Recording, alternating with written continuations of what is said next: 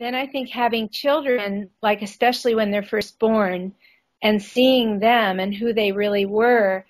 like ignited that torch in such a real tangible way for me because I saw who everybody is when they first come into this world. And as soon as I saw them and saw their souls and their spirits, I realized that, that I was like that, but that mm. I, you know, I literally realized that very early after their births and, and just realized that it, it was lost, but it wasn't lost. It was, as we say in Sufism, it was veiled